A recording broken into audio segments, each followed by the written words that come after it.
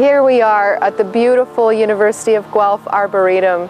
It's actually considered to be a national treasure in Canada. So many rare trees and gardens. We love to come here and hike.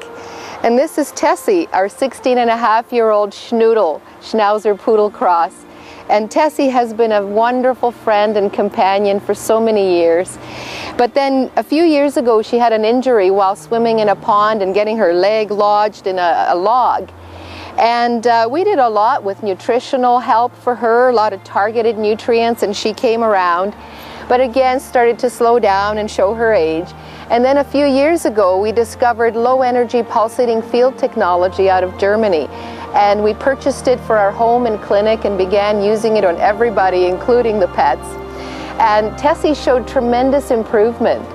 And uh, then as we went along, she again started to slow down to the point where she was getting more incontinent, losing her eyesight, you know, just showing the signs of age. And uh, 10 months ago, a wonderful thing happened. We discovered the whole new concept, cutting edge concept of redox signaling molecules.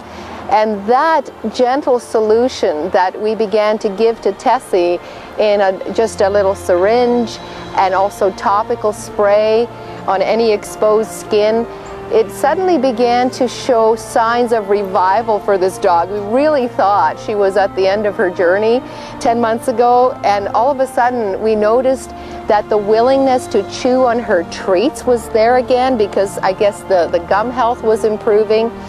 Uh, then we started to see signs of improved vision because she was maneuvering better around her territory and she began hiking again and just showing signs of good smooth movement.